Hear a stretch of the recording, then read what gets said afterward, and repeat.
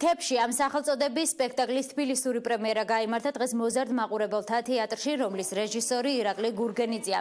ერთმოქმედებიანი სპექტაკლი ტრაგიკომედიური ჟანრისაა, რომელიც ზურაბ პაპიაშვილის პიესის მიხედვითაა დადგმული.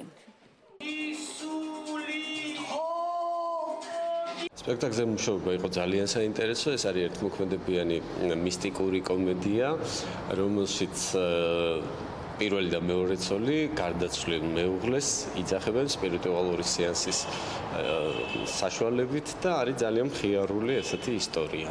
ცოტა სერდიანი. პიესა დაწერა ზურაბ პაპიაშვილმა და აგლი შედგა მაყურებელმა მიიღო და რა ვიცი მეც ესეთი კარგი განწყობა მაქვს.